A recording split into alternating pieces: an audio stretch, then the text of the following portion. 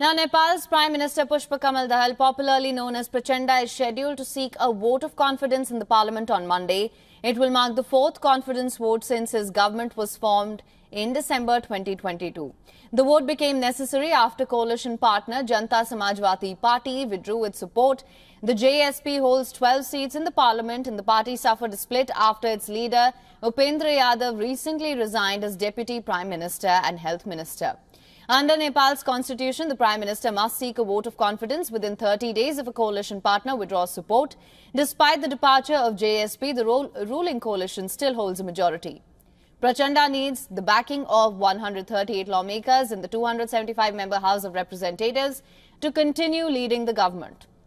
Now, Prachanda's support, it's waned in previous confidence votes, dropping from 268 votes in January 2023 to 157 votes in the most recent test.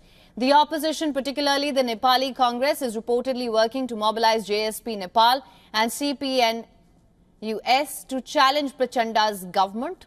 The Nepali Congress is currently disrupting parliamentary proceedings. The party is seeking the resignation of Deputy Prime Minister and Home Minister who is embroiled in a controversy over misappropriation of cooperative funds. This is Prachanda's third stint as Prime Minister. While he has been vocal about wanting to make a difference, he has also acknowledged his failure, his failure to deliver.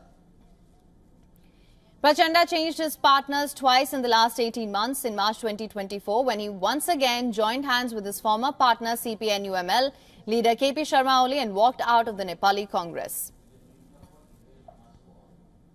For latest news, download the WION app and subscribe to our YouTube channel.